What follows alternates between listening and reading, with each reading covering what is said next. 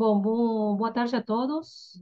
Eh, hoje vamos ter a nossa primeira aula em português e eh, vai ser a única do curso que vai ser em português, eh, já que a nossa professora do dia de hoje é brasileira.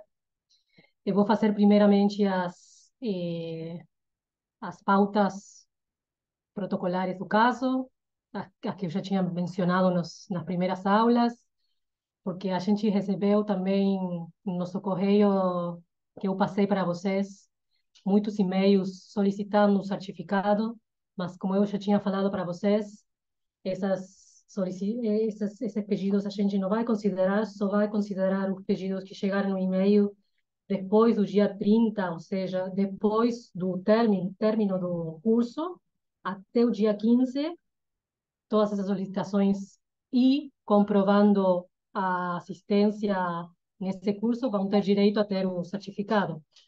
Mas a gente não está considerando os e-mails que estão chegando agora, tá? Então, eu vou passar como foram as outras aulas também, um formulário de assistência, de presença, para vocês assinarem, colocarem um nome, um sobrenome, apelido seria em espanhol, é, porque tem aí, eu tive uma vez um, um curso, um formulário, um formulário, eu coloquei apelido, apelido em espanhol, e muitos colocaram o, sobrenome, né, em, em português. É, então seria sobrenome o apelido e é, o correio eletrônico. Daí é, vocês também vão ter que mandar esse e-mail depois do dia 30 para ter o direito a ter o certificado. Que eu já, como eu falei para vocês, vai demorar um pouquinho, porque somos muitos, muitas pessoas é, assistindo o curso, então peço, por favor, paciência. E também peço para vocês se é, no Zoom com o nome, o mesmo nome que vocês é, se inscreveram no formulário, também para ter esse controle da, da assistência, porque, como vocês sabem, tem que ter uma presença de 80% do, do curso e 80% das, das aulas, sim? E eu acho que seria todas as questões formais seriam seriam essas. Se tiver alguma dúvida, bom, a aula vamos seguir sempre os critérios que já tínhamos, tínhamos adotado nas aulas anteriores. A professora vai dar a aula completa e vocês podem ir fazendo perguntas no chat, à medida que, que vocês tiverem dúvidas, mas as, as dúvidas só vão ser respondidas no final da aula, sim? Então, a gente vai aqui fazer um, uma recoleção dessas perguntas que vocês fizeram no, chat e vamos encaminhar para a professora, para ela responder. É, a aula vai durar em torno de uma hora e meia, como sempre. E, bom, vou passar a apresentação da nossa professora do dia de hoje, que é a Luciane Klein Vieira, é doutora em Direito na área internacional e mestre em Direito Internacional Privado pela Universidade de Buenos Aires, mestre em Direito da Integração Econômica pela Universidade de El Salvador, eh, Université de Paris 1, Panteão Sorbonne, na França, advogada pela Universidade do Vale do Rio dos Sinos, Unicinos Brasil. Tem eh, diversos cargos docentes e atualmente professora pesquisadora de grau e pós-graduação em Direito Internacional na Universidade do Vale do Rio dos Sinos, Unicinos Brasil, chefe de trabalhos práticos regular de Direito da Integração, junto à professora Sandra Negro, na Universidade de Buenos Aires, professora de curso de pós-graduação em Direito na UBA, professora visitante da Faculdade de Direito da Universidade Externado de Colômbia, Bogotá.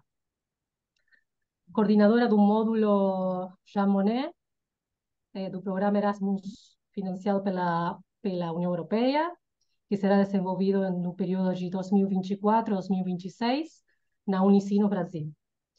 É, como atuação profissional, se destaca que foi consultora da Secretaria Nacional do Consumidor, Senacom Brasil, contratada pela PNUD para análise da implementação no Brasil das diretrizes das Nações Unidas de 2015 sobre proteção do consumidor. Igualmente foi consultora da Senacom contratada pela Unesco para o desenvolvimento da Escola Mercosul de Defesa do Consumidor. Hoje a professora um, Luciane vai falar sobre um aspecto que a gente tinha falado no, na primeira aula, se vocês lembrarem, que era um, que existiam quatro legitimados ativos para solicitar opiniões consultivas e um deles eram os órgãos judiciários dentro dos Estados-membros. E ela vai aprofundar, eu não quis, quando eu dei essa aula, não quis aprofundar nessa questão, porque íamos ter essa aula aqui para aprofundar nesses aspectos são muito importantes para vocês conhecerem como funciona internamente dentro dos estados o mecanismo para eh, solicitar opiniões consultivas. Então, Luciane, a palavra é sua. Muito obrigado pela, pela aceitação do convite. E deixo você a aula. Muito obrigada, doutora Brenda Maffei. É uma satisfação poder integrar esse curso sobre opiniões consultivas, que, que é organizado pela Secretaria do TPR pelo CODEM, um curso que fazia falta, um, um curso que eu tenho certeza que, que vai gerar e deve estar gerando já um excelente impacto aqui na nossa região. E Agradeço aqui especialmente o convite na figura do professor Alejandro Perotti, uma satisfação é, estar aqui com todos vocês. A, a nossa aula hoje, a temática de número 3, ela será desenvolvida em português, como foi referido, mas qualquer tipo de dificuldade uh, eu, fico, eu fico à disposição. Então, a proposta é trabalhar a solicitação da opinião consultiva feita pelos poderes judiciários dos Estados partes. Então, para isso, nós vamos dividir a nossa aula de hoje em duas partes. A primeira vai tratar da regulação é, do Mercosul, e a segunda parte vai tratar da regulação interna da Argentina, Brasil, Paraguai e Uruguai. Então, dando uh, sequência ou início aqui à nossa atividade, com relação a essa primeira parte, que, portanto, vai tratar é, das normas que pertencem ao direito originário, ao direito derivado do Mercosul, que pertine à solicitação da, das opiniões consultivas pelos órgãos jurisdicionais nacionais, a primeira coisa que nós precisamos uh, levar em consideração, e que já foi comentada aqui com vocês no, no curso, é que o protocolo de Olivos sobre solução de controvérsias de 2002 foi um marco importantíssimo para o Mercosul. Por quê? Ele uh, inaugura uma nova fase no sistema de solução de controvérsias, uma fase que prevê a existência de um tribunal com convocatória permanente, um tribunal arbitral, que é o nosso TPR, Tribunal Permanente de Revisão do Mercosul, figura que não existia anteriormente a essa data, para atuar uh, como uma instância revisora é, dos laudos emitidos pelos tribunais arbitrais ad hoc, podendo também atuar como uh, instância única dentro do que seria a arbitragem internacional. Mas aqui não nos interessa essa parte. Hoje o que nos interessa é uma das outras várias competências do TPR, que é a possibilidade de emitir opinião consultiva. Essa possibilidade, ela também foi prevista pelo protocolo de Olivos. Então, esse protocolo, pertencente ao direito originário do Mercosul, ele é a base de todo esse sistema que nós temos hoje dentro da nossa região. A opinião consultiva, quando ela foi, portanto, criada por Olivos, a ideia buscada era que ela pudesse servir de um instrumento, uma ferramenta para unificar a interpretação do direito do bloco. Direito esse tanto originário, os tratados constitutivos e que dão uh, sustento ao nosso processo de integração, como o Tratado de Assunção, o Protocolo de Ouro Preto, o Protocolo de Olivos, é, o protocolo que cria o Parlasul, o Protocolo de Ushuaia, entre outros. E também o direito que nós chamamos de direito derivado, que é aquele direito que é produzido pelos órgãos com capacidade decisória do Mercosul, que atualmente são três: o Conselho do Mercado Comum, que emite decisões, o Grupo Mercado Comum, que emite resoluções, e a Comissão de Comércio do Mercosul, que emite diretrizes. Então, dentro dessa possibilidade de interpretação de todo o acervo jurídico do Mercosul, a ideia é que a opinião consultiva possa servir, portanto, como um instrumento que possibilita mais previsibilidade e segurança jurídica, porque o TPR será quem interpretará essas normas do direito do Mercosul, é, portanto, quem está autorizado a dar a última palavra em termos de interpretação do direito do Mercosul de forma legítima e que essa interpretação ela possa ser seguida, acolhida e aplicada pelo Poder Judiciário de todos os estados partes. Por que isso?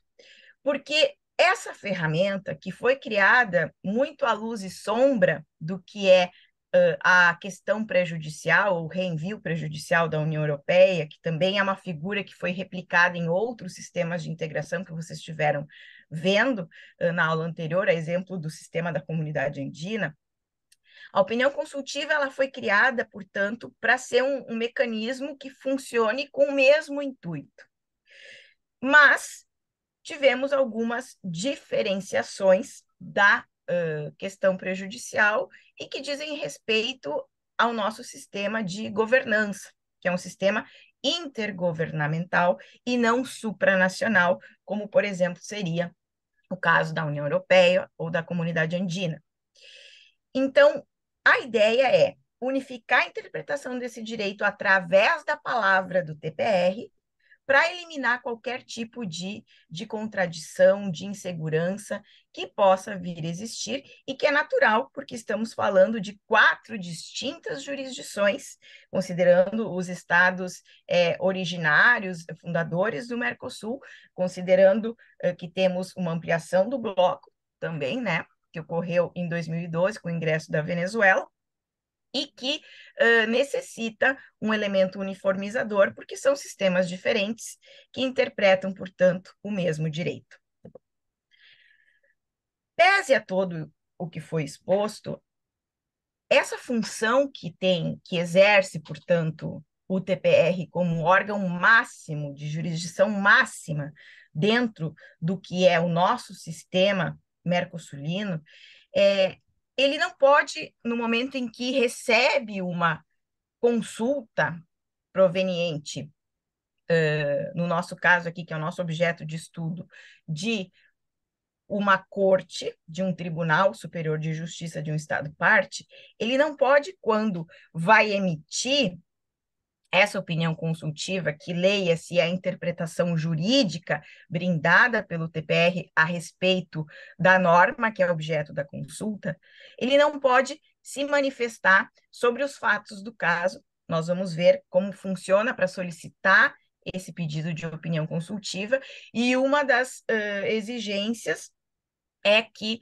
justamente o tribunal consultante ele faça um breve resumo dos fatos para quê? Para que o TPR consiga entender qual é a necessidade de interpretação à luz dos fatos trazidos, né? Sempre pensando uh, nessa lógica uh, da subsunção da norma ao fato. Então, obviamente, o TPR não está uh, agindo aqui no sentido de resolver a causa, porque ele é um órgão que está sendo consultado, então ele não pode se manifestar sobre os fatos, porque a jurisdição é do juiz nacional. Menos ainda, pode resolver a causa, porque aí estaria extrapolando a sua competência. Tampouco pode interpretar ou qualificar o direito interno do Estado, do Poder Judiciário, que está é, realizando a consulta. Então, esses seriam limites a essa interpretação consultiva a esse agir do TPR nesse sentido. Mas o que pode e o que deve fazer o TPR pese a esses limites. Limites que também existem é, no direito de outros esquemas de integração, a exemplo da própria União Europeia, da Comunidade Andina, uh, da CARICOM, etc.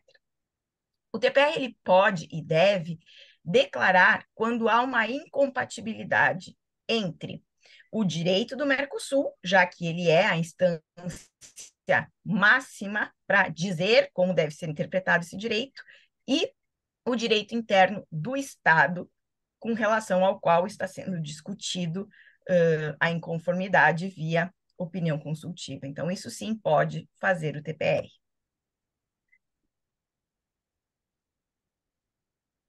Agora, quem pode solicitar ou quem pode propor uma opinião consultiva?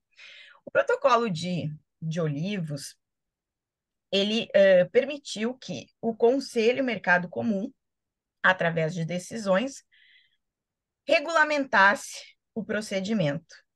Então, nós tivemos uma decisão inicial que foi reformada recentemente, no ano de 2022, pela decisão número 5, uma decisão de 20 anos atrás, que já previa vários legitimados ativos para solicitar opinião consultiva, como bem a, a doutora Brenda Maffei eh, comentou antes.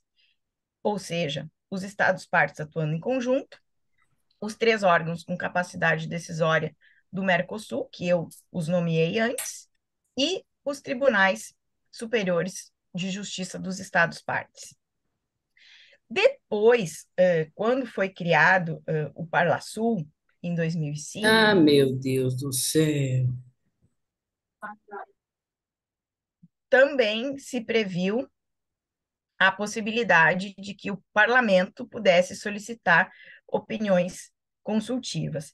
Então, nós temos hoje todos esses legitimados ativos. O foco da nossa aula é o pedido de opinião consultiva que parte do Poder Judiciário, como já foi mencionado.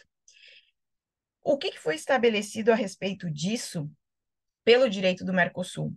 No ano de 2007, através da decisão número 2 do Conselho Mercado Comum, foi uh, criado um regulamento de procedimento específico para o pedido de opinião consultiva realizado pelos Tribunais Superiores de Justiça dos Estados. E nessa decisão, cada estado indicou quem seria esse Tribunal Superior de Justiça. Então, ficou plasmado aqui que o Tribunal Superior da Argentina é a Corte Suprema de Justiça la Nación, no caso do Brasil, o STF, Supremo Tribunal Federal. No caso do Paraguai, a Corte Suprema de Justiça. No caso do Uruguai, Suprema Corte de Justiça e também o Tribunal de lo Contencioso Administrativo. Numa simples uh, olhada, pode parecer estranho por que, que Argentina, Brasil e Paraguai, cada um indicou um tribunal, obviamente, o tribunal máximo da jurisdição. E por que, que o Uruguai indicou dois? Né? Porque podia, os demais não fizeram. Então, por exemplo, a Argentina poderia ter proposto uh, o Tribunal Fiscal de la Nación, que trabalha muito com o direito do Mercosul na parte uh, alfandegária, como sendo um legitimado ativo, não fez. Mesma coisa no, no, no, caso do Brasil, poderia ter indicado o CARF, que é o Conselho Administrativo de Recursos fiscais para dar legitimidade, mas isso não foi feito. Há proibição? Não há proibição, mas partiu da vontade dos Estados partes, e essa ficou, então, portanto, a configuração de quem pode solicitar opinião consultiva por parte do Poder Judiciário dos Estados partes do Mercosul. Outra questão essencial e que é objeto de muitas críticas, e geralmente essas críticas são dotadas de razão, é que o artigo atual, que é o artigo 12 dessa decisão 5 de 2022, que reformou a anterior, manteve a mesma orientação da decisão anterior, que estava prevista no seu artigo 11, no sentido de que a opinião consultiva que for emitida pelo TPR, ela não é vinculante e tampouco obrigatória. O que, que significa isso? Em outras palavras, os juízes, nem mesmo os juízes de última instância, como poderia ser os ministros do STF ou da Suprema Corte de Justiça da Nação, etc., eles não estão obrigados a solicitar ao TPR como deve ser interpretado o direito do Mercosul quando tem diante de si uma causa tramitando e que, obviamente, requer a aplicação do direito do bloco. Não há, então, essa obrigação de solicitar opinião consultiva. Obrigação que há, por exemplo, tratando de fazer um exercício aqui de comparação, tendo em vista que vocês já estudaram, uh, na União Europeia, onde os juízes de única ou de última instância são obrigados a solicitar uma questão prejudicial quando precisam aplicar o direito da União Europeia à causa que está tramitando diante deles. Estando é, eximidos desse dever se o ato é completamente uh, transparente, claro, não dá dúvidas, e é muito difícil né, que uma norma não gere pelo menos uma dupla interpretação. Mas, sobretudo, estão eximidos se já houve uma questão prejudicial anterior tratando sobre o mesmo assunto. Então, a diferença aqui no nosso sistema intergovernamental é que a opinião consultiva não é de uh, propositura obrigatória por parte do judiciário. Mas o pior não é isso. O pior é que quando o juiz que solicita a opinião consultiva, porque ele precisa da interpretação do Tribunal Máximo da região, legitimado pelo direito do Mercosul e, portanto, pelo direito do seu próprio Estado, que ratificou os tratados que integram o Mercosul. Quando ele recebe a resposta do TPR, esse juiz não está obrigado a seguir a interpretação que foi brindada. Esse dispositivo, o artigo 12, é o grande problema que nós temos atualmente no, no sistema eh, das opiniões consultivas aqui no, no Mercosul.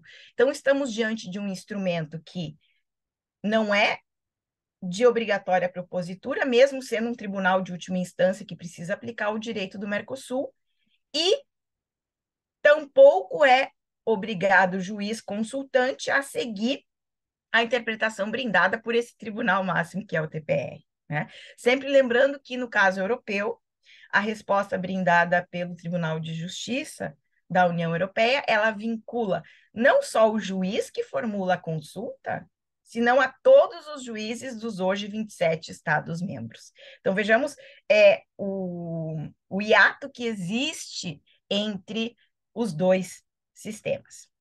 Mas isso não pode servir de uh, desculpa para não utilização da ferramenta.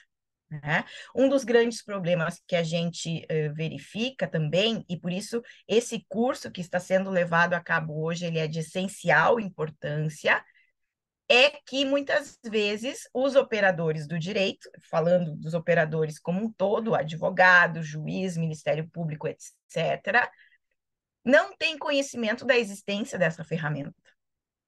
E se não há conhecimento, ela não é utilizada. Mas pode uma ferramenta criada desta forma, sem obrigatoriedade de consulta e sem efeito vinculante com relação à resposta funcionar? É mais difícil que ela funcione, obviamente, como parece ficar claro aqui, mas é uma questão de nós uh, introduzirmos nos nossos ordenamentos jurídicos, mas sobretudo na nossa prática profissional, como advogados, como juízes, como professores, a opinião consultiva como um instrumento para disseminar a correta interpretação do direito do Mercosul e para apaziguar ou eliminar qualquer tipo de contradição nessa interpretação que poderia resultar numa jurisprudência completamente disforme. Né? Quando, por exemplo, interpretando a mesma norma do Mercosul, Protocolo de Buenos Aires sobre jurisdição internacional em matéria contratual, que é muito utilizada no âmbito dos contratos internacionais para determinar, portanto, quem é o juiz eh, competente, quando o juiz paraguaio decide diferente do juiz brasileiro, que decide diferente do juiz argentino e do juiz uruguaio, é difícil a gente conseguir essa uniformidade. Então, nós temos uma ferramenta aqui essencial, que sim, tem carências, né? Muito, muito melhor seria se, eh, pelo menos, a resposta do TPR fosse vinculante, mas não é o que nós temos aqui no nosso sistema atual, mas que é uma ferramenta que precisa ser difundida, que precisa ser utilizada, que precisa ser conhecida e inserida na nossa cultura, para, portanto, poder produzir efeitos. Agora, como é que funciona para que uh, seja pedido pelo judiciário, então, por esses tribunais superiores de justiça que, que acabamos de ver, que foram habilitados pelos respectivos estados, para solicitarem opinião consultiva. Nós vamos ter essa regulação uh, no âmbito regional, como estamos vendo agora, e depois nós vamos ver o detalhe, as semelhanças e as diferenças no direito de cada um dos, dos estados partes. Com relação à nossa norma regional, portanto, mercosulina, foco aqui a última decisão que reformou uh, o regimento do protocolo de Olivos, essa decisão 5 de 2022, determina, pela redação que nós conseguimos observar aqui, que as opiniões consultivas devem se referir exclusivamente à interpretação jurídica das normas do Mercosul. E aí menciona que normas são essas, que são aquelas compostas pelo direito originário e pelo direito derivado, como falei para vocês ao começo, né? E que para que possa ser solicitada a opinião consultiva pelo judiciário, deve haver uma causa em tramitação diante do próprio Poder Judiciário. É. Nesse sentido, quando um juiz, que não precisa ser um juiz de superior instância, não precisa ser um, um ministro do STF, no caso do Brasil, para solicitar opinião consultiva, qualquer juiz de qualquer instância, isso já ficou bastante é, corroborado e certificado dentro do direito do Mercosul. Qualquer juiz está habilitado a solicitar opinião consultiva, só que ela tem que ser canalizada através desses tribunais superiores. Então, se um juiz que tem diante de si uma causa que reclama digamos assim, a aplicação do direito do Mercosul, ele pretende solicitar opinião consultiva, ele precisa obedecer os requisitos que foram impostos pelo regulamento que uh, determina como se dá essa solicitação de opinião consultiva, que está contido na decisão 2 de 2007. E aí, o que, que nós precisamos, então, nos ater?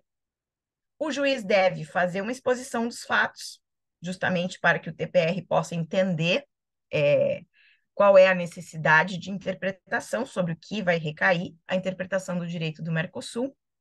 O juiz deve dizer qual é o objeto do pedido. Né? Geralmente, uh, isso é formulado por meio de perguntas. Por exemplo, como deve ser interpretado uh, o artigo 5 do Protocolo de Medidas Cautelares do Mercosul? Por exemplo. Né? Então, tem que determinar o objeto uh, do pedido, indicando a norma que vai ser interpretada, e, claro, justificar, descrever por que, que está sendo solicitada essa opinião consultiva. E aqui tem outra questão importante, além desses requisitos. Para que o TPR possa se expedir sobre a consulta que está sendo realizada, a questão ela não pode ser objeto do sistema de solução de controvérsias. Então, por exemplo, se uh, um juiz argentino, através da Corte Suprema de Justiça de la Nación solicita uma opinião consultiva ao TPR, e essa opinião consultiva ela consegue ser trasladada ao, ao TPR, recebida pelo TPR, admitida, e os árbitros começam a trabalhar nela, se começa, por exemplo, um, negociações diplomáticas diretas, procedimento de uh, arbitragem internacional pelo sistema de solução de controvérsias do Mercosul, nós não podemos uh, prosseguir o TPR não vai poder prosseguir com a eh, opinião consultiva. Então, isso é uma questão importante. Outra questão importante é que, se o direito do Mercosul ele exige que haja uma causa em tramitação na jurisdição interna do, do Estado, do juiz que está solicitando, a pergunta que vai ser dirigida ao TPR para que ele possa responder com a interpretação consultiva, ela tem que ser sobre um caso concreto, sobre um caso real. Então, não cabe uh, questões fictícias. E se fosse, né, tem que ser o caso real, por isso que é importante a exposição dos fatos.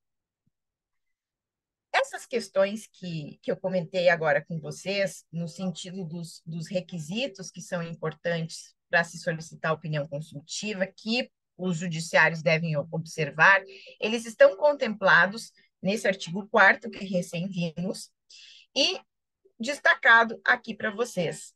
Então, volto a frisar, pela importância e todos esses requisitos eles são replicados na regulamentação interna dos quatro estados partes do Mercosul que regulamentaram uh, esse procedimento: Argentina, Brasil, Paraguai e Uruguai.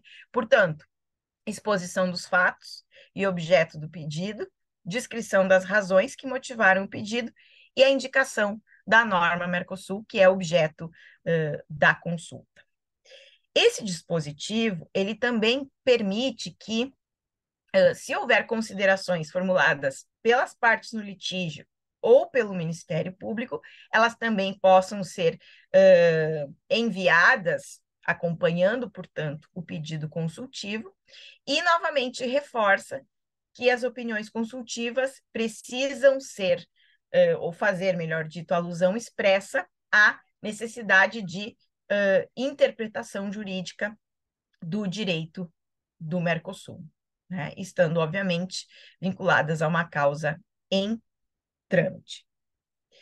Pois bem, uma vez que o TPR recebe o pedido consultivo, que foi canalizado uh, por um tribunal superior é, do estado de origem do juiz consultante, existem também algumas questões que uh, o TPR deve levar em consideração, que são, na verdade, requisitos de admissibilidade. Né? Antes falamos dos limites da, da consulta, né? que o TPR não pode se manifestar sobre os fatos, o TPR não pode qualificar ou interpretar o direito interno do Estado. Então, somado a esses limites, nós vamos ter que nos preocupar, nós, digo TPR, né? com uh, o conteúdo dessas opiniões consultivas. Então, aqui. Uh, o regulamento do protocolo de olivos atual, de 2022, vai dizer que as opiniões consultivas, elas deverão conter uma relação das questões submetidas à consulta, ou seja, as perguntas que foram formuladas pelo juiz nacional consultante, então o TPR ele deve fazer alusão a essas perguntas, um resumo dos esclarecimentos dos solicitantes, das partes do Ministério Público, se uh, isso tiver acompanhado uh, a opinião consultiva, o pedido consultivo, e quando o TPR se manifesta, e sempre em plenário, tá? sempre na conformação plena, uh, se houver uma, uma opinião dissidente, tem que estar consignada essa opinião em dissidência. Se nós olharmos para o regulamento eh, do procedimento do pedido de opiniões consultivas que parte dos eh, judiciários, que está contido na decisão de 2007, nós vamos ver que eh, esses requisitos também estão contemplados, né? no sentido de que também vai integrar essa análise de admissibilidade o fato de que uh, se vai verificar se o tribunal que formulou o pedido consultivo é um legitimado ativo. Então, portanto, nós temos que ver se, no caso da Argentina, é a Corte Suprema de Justiça da Nação, no caso do Brasil, é o STF, e assim por diante, ou seja, os tribunais que foram indicados anteriormente. Né? Tem que ser verificado se o pedido ele foi formulado é, de acordo com o que nós vimos anteriormente, com a exposição dos fatos, com a indicação do objeto, com a indicação precisa da norma do Mercosul a ser interpretada, e claro que não haja nenhuma, uh, nenhum procedimento de solução de controvérsias em trâmite que seja sobre o mesmo assunto, com as mesmas partes que se refere uh, ao pedido consultivo, ou seja, de igual teor. É quase como que evitar uma litispendência, né, uh, buscando a, a noção dessa concorrência de decisões, porque o objetivo aqui é não gerar uh, ou não chegar a gerar duas decisões que possam vir a ser contraditórias. Pois bem, também na linha dos, dos impedimentos, e que vai uh, guiar a ação do, do TPR quando ele vai interpretar o direito do Mercosul via opinião consultiva, nós precisamos nos ater aqui. O TPR, ele não poderá admitir ou se manifestar no mérito da opinião consultiva quando o pedido for improcedente. E como que se vai saber se o pedido é improcedente? Quando, por exemplo, não advém de um legitimado ativo, quando, por exemplo, solicita a interpretação de uma norma que não compõe o direito do Mercosul, entre outras questões que se reportam aos requisitos que falamos anteriormente. E, novamente, se traz à colação a necessidade de que não haja um procedimento de solução de controvérsias tratando sobre o mesmo tema, sobre a mesma questão objeto da consulta interpretativa que foi formulada.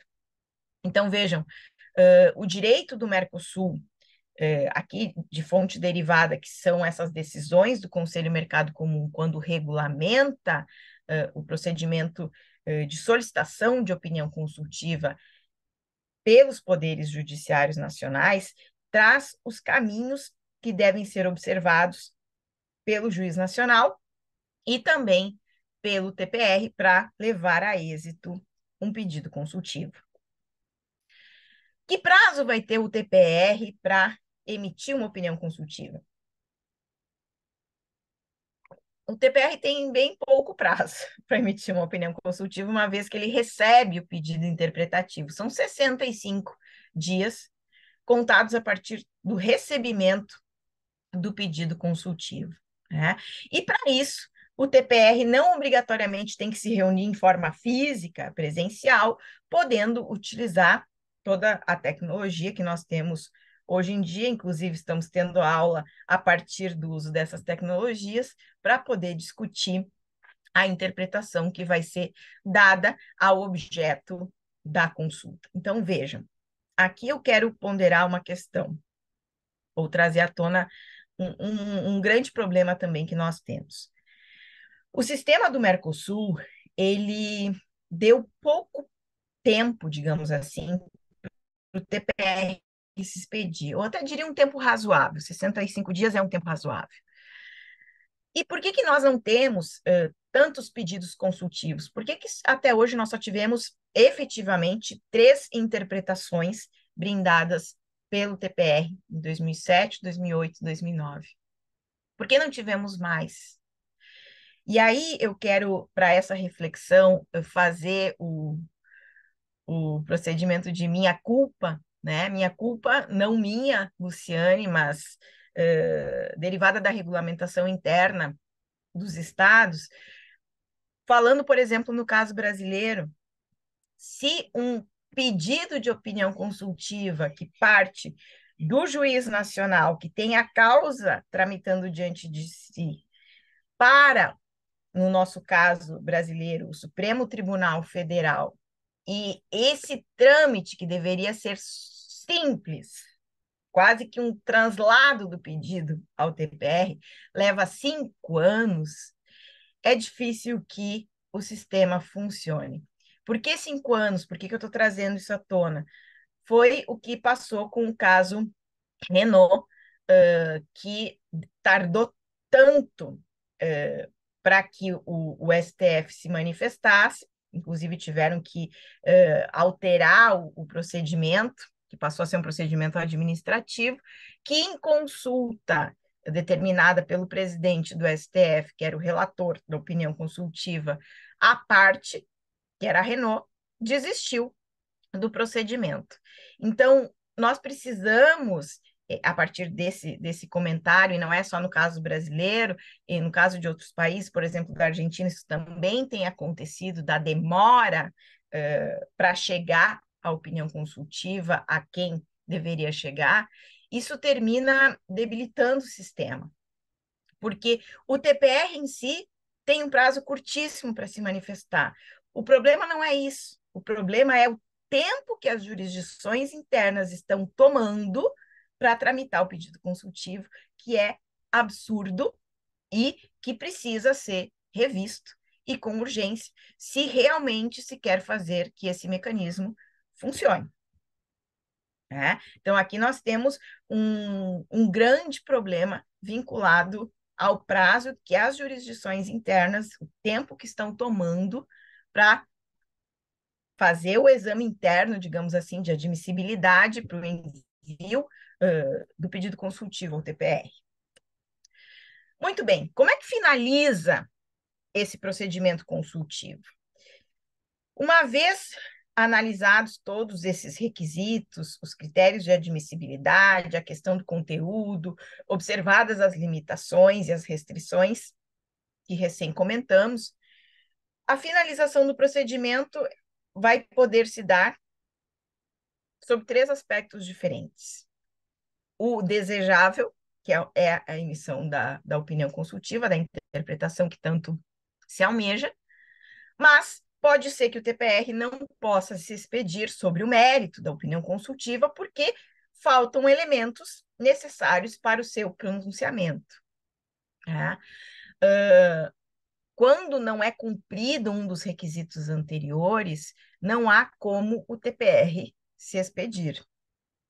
Ou quando começa um procedimento de solução de controvérsias sobre a mesma questão, então fica impedida uh, a emissão da opinião consultiva. Quando é emitida a opinião consultiva, quando se obtém êxito, todos os estados partes, através dos seus tribunais superiores de justiça, eles são notificados. A Secretaria do Mercosul também é notificada e é feita a publicação uh, no boletim oficial do Mercosul, buscando a transparência, buscando a publicidade, buscando atingir maior número uh, de pessoas possível. Vamos fazer um, um breve feedback com relação a, a, todos esses elementos que, que foram sendo trazidos à colação. Com base nessas decisões que estivemos uh, comentando, a recente decisão 5 de 2022 e a decisão 2 de 2007, a primeira que regula o protocolo de Olivos, a segunda específica sobre a tramitação é, do pedido de, de opinião consultiva por uh, Tribunal Superior de Justiça, como nós podemos visualizar esse procedimento? Em primeiro lugar, o juiz nacional, que tem a causa diante de si, que, portanto, reclama a aplicação do direito do Mercosul, ele envia o pedido ao Tribunal Superior de sua jurisdição, que são esses tribunais uh, referidos anteriormente. Esse Tribunal Superior, uma vez uh, verificados os requisitos internos que foram impostos, envia a consulta ao TPR, e essa consulta deve ter sido enviada com cópia à Secretaria do Mercosul e aos demais tribunais. A Secretaria do TPR envia o pedido consultivo aos árbitros, aos cinco árbitros, informa se existem opiniões consultivas prévias, anteriores, onde se discutiu o tema objeto uh, do novo pedido de interpretação e também ativa as coordenações nacionais do Grupo Mercado Comum, que podem trazer informações, podem se manifestar num prazo bastante curto, de 15 dias, a respeito do objeto da causa, e o TPR, então, tem 65 dias para emitir resposta, podendo, para emitir essa resposta, solicitar documentos adicionais, solicitar esclarecimentos das partes do Ministério Público e, inclusive, pode suspender esse prazo de 65 dias. O que não diz na normativa Mercosul, portanto, nessas duas decisões analisadas, é qual seria o momento processual oportuno para solicitar a opinião consultiva. Quando que o juiz tem que formular a consulta? E também não está referido uh, no direito do Mercosul que deveria haver a suspensão da causa. Por que, que deveria haver a suspensão da causa? Porque se o objeto, a intenção da opinião consultiva é interpretar o direito do Mercosul para que esse direito possa ser usado ou aplicado, melhor dito, na causa em tramitação, a causa não poderia seguir sem a interpretação do órgão máximo da região, que é o TPR. O sistema interno de cada estado, cada um dos estados, tratou de forma distinta essa possibilidade de suspensão do processo. É, no caso europeu, essa suspensão ela se dá, né, o juiz que formulou a consulta, ele deve suspender a causa até receber é, a resposta da questão prejudicial proveniente do Tribunal de Justiça da União Europeia. Aqui nós temos também uma diferença no nosso sistema com relação a esse requisito.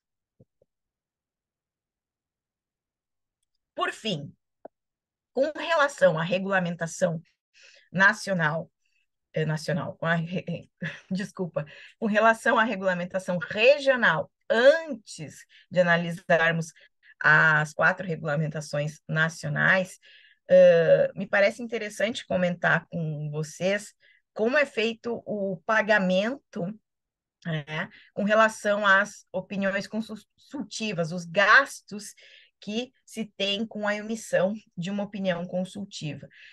Quando esse pedido consultivo ele parte do Poder Judiciário, os gastos de emissão da opinião consultiva, eles vão ser custeados pelo Estado ao qual pertence o tribunal. Então, portanto, se a consulta foi formulada por um juiz paraguaio, cabe ao Paraguai suportar os gastos de emissão da opinião consultiva. Isso também é muito discutível, porque, na verdade, se a interpretação consultiva ela vai ser aproveitada por todos na região, todos os estados, porque fazer um especificamente arcar individualmente com o custo. Mas, enfim, é esse o sistema que, que nós temos. Né? Existe uma conta específica, conta especial para opiniões consultivas, que foi criada em 2004, Uh, recentemente, no ano de 2020, se reformou o valor que deve ser aportado por cada estado parte por ano para compor essa conta especial. Atualmente são 6 mil dólares é, por ano. Essa conta especial ela vai servir para suportar os gastos de emissão de, de opinião consultiva, quando, por exemplo, a emissão parte dos estados partes atuando em conjunto. Né? Quem sabe se poderia rever essa, essa previsão normativa no sentido uh, ser objeto de pagamento da emissão de opinião consultiva quando uh, fosse procedente do Poder Judiciário, mas claramente deveria haver um aumento aí da contribuição uh, anual por cada Estado parte. Pois bem, finalizando o tema da regulamentação regional. Com relação à opinião consultiva, Vimos que a opinião consultiva é uma consulta, portanto, que formula o juiz nacional através da sua corte superior ao TPR. Essa consulta ela se dá por escrito. Essa consulta tem que referir os fatos do, do, do, do caso em tramitação, mencionar o pedido, indicar as normas do Mercosul que são objeto da consulta, bem como indicar por quais razões está sendo solicitada a interpretação do TPR. Portanto, não no sentido de que uh, essa consulta é uma consulta uh, de simples petição, é o único requisito é que observe a indicação da norma do Mercosul, a referência aos fatos, como já dito, razões, e que se dê por escrito. A opinião consultiva, o que, que ela permite? Ela permite, portanto, não só a interpretação do direito do Mercosul, mas ela estabelece um diálogo entre o órgão regional, que é o TPR, e o órgão consultante. Isso é feito diretamente entre as jurisdições, sem a interferência, por exemplo, uh, dos ministérios de relações exteriores. Se a opinião consultiva ela parte de um uh, poder judiciário, obviamente ela tem caráter incidental, porque ela vai estar uh, fazendo alusão ou referência a uma causa em tramitação, né? Vimos o grande problema atual, que é justamente a ausência de obrigatoriedade na formulação cons da consulta, nem mesmo os tribunais de última instância estão obrigados a formular a consulta quando tem diante de si uma causa tramitando e que exige aplicação do direito do Mercosul, uh, e tampouco a resposta brindada pelo TPR, ela vincula uh, o juiz consultante. O objeto maior, portanto, é uniformizar a interpretação do direito do Mercosul e a posterior aplicação. Existem erros, existem acertos nesse sistema que foi criado pelo Mercosul, mas pese a essa ausência de obrigatoriedade, mesmo que tem potencial para servir de uma ferramenta efetiva de ser incorporado à nossa prática profissional. Dando sequência aqui, vamos para parte 2 da nossa aula. Nessa parte 2, nós vamos tratar da regulamentação interna dada pelos superiores tribunais de justiça dos Estados partes. Por que, que é interessante olharmos para essa regulamentação interna? Para vermos justamente em que aspectos se assemelham essas regulamentações e em que pontos elas se distanciam entre si. Lembrando que, apesar de existir essas decisões que acabamos de ver que regulamentam protocolo de olivos, que regulamentam uh, o procedimento específico para a solicitação de opinião consultiva por uh, Tribunal de Justiça, na jurisdição interna, cada superior tribunal tem uh, competência e, portanto, legitimidade para regulamentar como vai se dar o envio desse pedido consultivo. Então, para começarmos a a trabalhar com esse tema, eu trouxe uh, novamente a colação aqui a decisão número 2 de 2007, que contempla o regulamento do, do procedimento de pedido consultivo por parte do, do Poder Judiciário Nacional, e que vai dizer que cada Tribunal Superior de Justiça vai estabelecer, portanto, as suas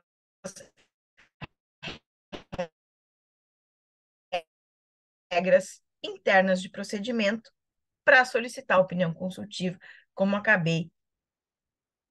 Quais são esses tribunais? Referi novamente.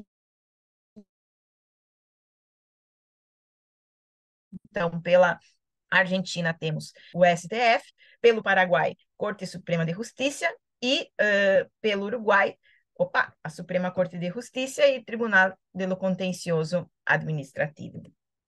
Pois bem, Vamos começar tratando dessa regulamentação interna pelo Uruguai.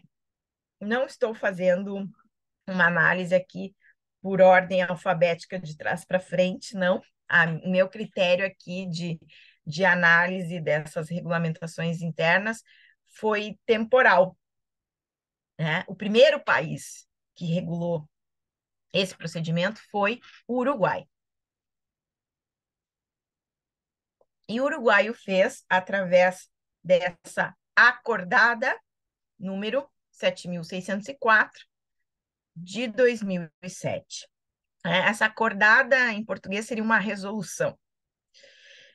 Pois bem, como eu disse para vocês antes, e não vou voltar a fazer essa referência, é, os quatro estados partes, eles replicaram esses requisitos para o pedido de opinião consultiva que nós vimos uh, anteriormente. Exposição dos fatos, do motivo, a norma Mercosul que está sendo objeto de interpretação, etc. Todos eles replicaram isso na sua regulamentação interna.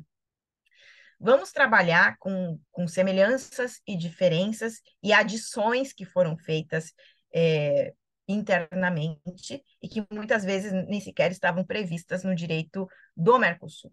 Então, no caso do, do Uruguai, se nós olharmos, por exemplo, aqui para o artigo terceiro, eh, que vocês têm aqui manifestado, ele diz que a Suprema Corte de Justiça deverá verificar os seguintes critérios de admissibilidade.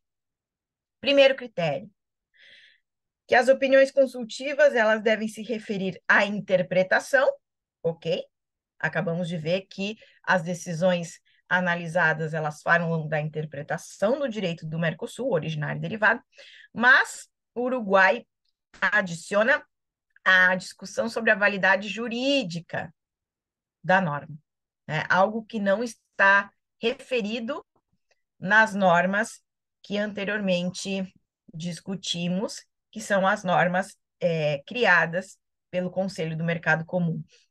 Há uma discussão da doutrina sobre tudo, no sentido de que, uh, quando a norma regional fala interpretação do direito do Mercosul, estaria também subsumida a questão da discussão da validade ou da nulidade da norma jurídica.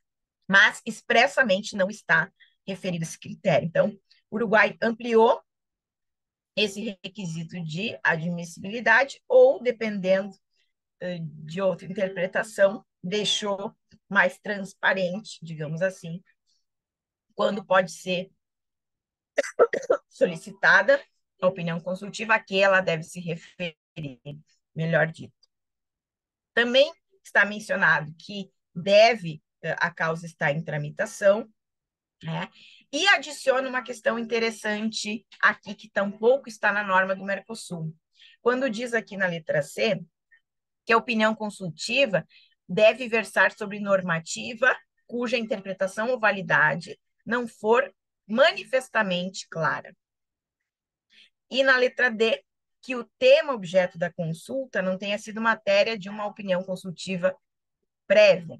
O que está fazendo aqui o direito uruguaio, ele está se reportando ao que existe no sistema europeu, na União Europeia, em termos de uh, ato claro ou ato aclarado, como se usa no, no espanhol, que seria esclarecido em português. O que, que é isso? No primeiro caso, como eu referi anteriormente para vocês, quando a norma ela é tão clara, tão lúcida, tão transparente, que não gera nenhum tipo de dúvida, nós estamos diante de um ato claro. Então, para que se possa solicitar opinião consultiva, nós não podemos estar diante de uma norma desse cunho. E também, conforme a regulamentação uruguaia, uh, se já houve uma opinião consultiva anterior sobre a mesma matéria, nós estaríamos, então, aqui falando do que os europeus tratam como ato aclarado, esclarecido, ou seja, a interpretação sobre esse tema já foi brindada anteriormente e, portanto, não necessitaria de uma nova é, interpretação. Então, vejam, aqui, é, pela acordada 7.604, há uma ampliação desses requisitos de admissibilidade, muito à luz do que existe no direito europeu, mas que, portanto, não foi uh, trazido uh, pelo direito do, do Mercosul. Com relação aos efeitos da, da opinião consultiva, a regulamentação uruguaia ela deixa claro que a interpretação do TPR deve recair sobre as normas do direito originário derivado do Mercosul, de acordo com a regulamentação é, regional, pode também recair sobre a validade dessas normas e que não vai ter um caráter vinculante nem obrigatório, que é referência ao artigo 11 da decisão que foi revogada pela 5 de 2022, que acabamos de ler, que hoje é o artigo 12, né? E que essas opiniões não podem afetar o direito interno, nem mesmo as faculdades do Poder Judiciário. Então, aqui é reforçado que, na verdade, a interpretação brindada pelo TPR, ela não pode, uh, de nenhuma forma, afetar, adentrar, digamos assim, ou afrontar o direito interno e tampouco limitar uh, o agir do Poder Judiciário. Por fim, uma questão interessante que não existe na regulamentação uh, regional e que sim aqui foi uh, inserido pela regulamentação uruguaia e muito bem inserido, é a necessidade de que o juiz da causa suspenda a tramitação até o recebimento da decisão do TPR. Para que isso? Para que ele possa justamente, então, acatar, a ideia seria essa, pese que não há obrigatoriedade, que ele possa acatar a interpretação do direito do Mercosul, que foi expedida nada mais, nada menos que pelo máximo tribunal, que tem uh, legitimidade para interpretar o direito do Mercosul. Então, uh, a regulamentação uruguaia, ela diz isso no artigo 8 que diz, uh, uma vez expedida a consulta pelo TPR, a Suprema Corte de Justiça arremeterá ao tribunal, arremeterá, desculpa, ao tribunal de origem, que é o tribunal solicitante, para que esse prossiga com a ação, ele continue com os procedimentos. Isso é uma questão importante. Né? Porque se a intenção efetivamente é o sul, não serve que o juiz que formula a consulta, ele possa seguir a tramitação, porque daqui a pouco até mesmo a causa já terminou, não se tem acesso à interpretação do TPR, para que se formulou a consulta? Mas, em contrapartida, também nós temos que pensar no seguinte, a opinião consultiva, ela não pode servir como um instrumento para é, travar o processo, né? Uh, muito grande deve existir por parte é, dessas regulamentações para que internamente na jurisdição interna não se tarde tanto para fazer esse translado da opinião consultiva até o TPR, porque aí se a causa tem que ficar paralisada até receber a consulta, né? Se acontecer como no caso do Renault, não dá para a ação ficar paralisada por mais de cinco anos. Pois bem, vamos para a Argentina. Então, deixamos a regulamentação uruguaia, vamos para a regulamentação argentina, que foi o segundo país eh, da região a regulamentar o procedimento e fez isso através da acordada número 13 da Corte Suprema de Justiça da Nação. A Argentina, com relação à regulamentação interna, foi o país que mais seguiu a normativa regional a normativa do Mercosul, sem, sem adições e sem inovações, ou buscando é, insertar é, experiências do direito comparado, como no caso da União Europeia. A Argentina, ela inicia a, a regulamentação dizendo, nós podemos observar ali pelo, pelo artigo 1 dessa, dessa acordada, dessa resolução da Corte, que o pedido consultivo, quando é formulado pelo juiz da causa, ele deve uh, cingir-se à interpretação jurídica é, das normas do direito originário, ali mencionado, Tratado de Assunção, Protocolo de Ouro Preto, uh, e também as normas do direito derivado, né, que seriam as decisões, resoluções e uh, diretrizes uh, da Comissão de Comércio do Mercosul. Então, aqui há um, um, um zelo por, por trazer a literalidade, digamos assim, da normativa regional nessa regulamentação interna. O que faz de, de novidade aqui a Argentina é legitimar não só os juízes da causa a solicitarem opinião consultiva, mas também permitir que a parte solicite ao juiz que seja levada uma opinião consultiva. Isso é muito importante, porque nós sabemos que o, o sistema de solução de controvérsias do Mercosul, ele é um sistema que foi pensado para os estados, onde a participação do, do, do particular é quase nula ou inexistente, porque o acesso do particular ao sistema de solução de controvérsias, ele é indireto, é, ele não tem acesso direto a esse sistema, nem mesmo ao TPR, e a opinião consultiva é uma forma de brindar uh, esse acesso uh, ao tribunal regional, digamos assim.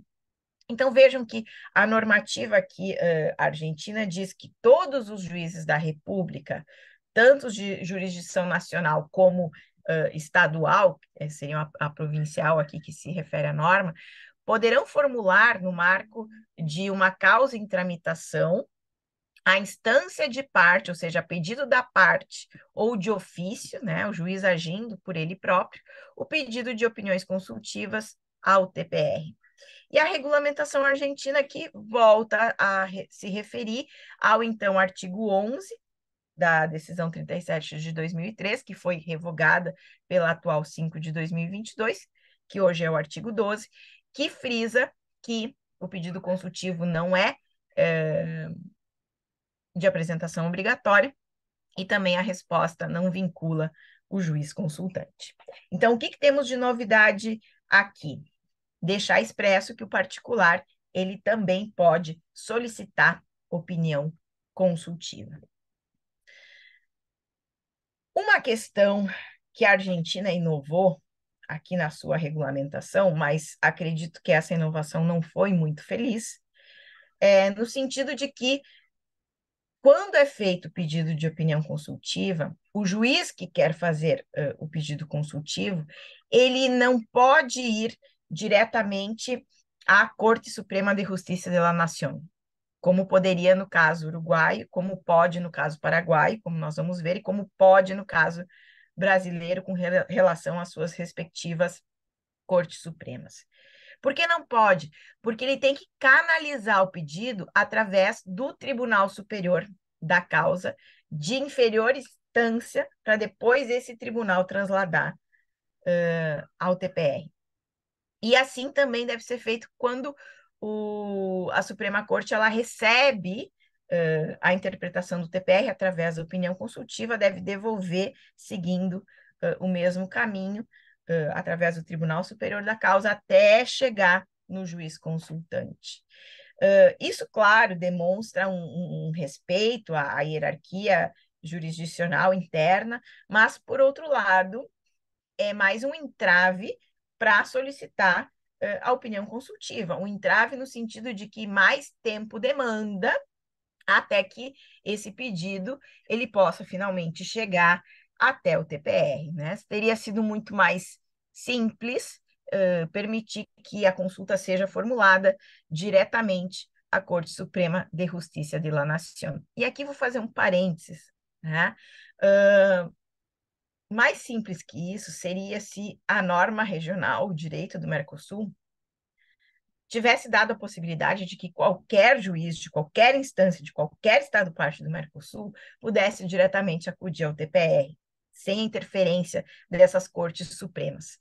Mas não foi o que nós uh, tivemos, e não é o que existe hoje no nosso direito, mas teria sido muito mais simples, um acesso direto, uma cooperação direta entre o juiz nacional e o juiz regional, assim como é uh, no caso europeu. Fecho meu parênteses, tá? Então, na nossa estrutura, uh, o próprio direito do Mercosul diz que essa, uh, esse pedido consultivo ele tem que ser proposto através desses legitimados, que são as cortes supremas, e aqui no caso argentino ainda precisa passar pelo Tribunal Superior da Causa de inferior instância até chegar à Corte Suprema.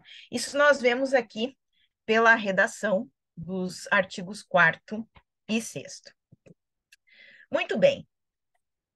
Também essa acordada 13 da, da Argentina, ela determina que se a causa está em tramitação perante a própria Corte Suprema de Justiça da Nação, a corte ela também pode solicitar opinião consultiva. Então, isso corrobora o fato de que uh, qualquer juiz de qualquer instância pode formular uh, o pedido consultivo.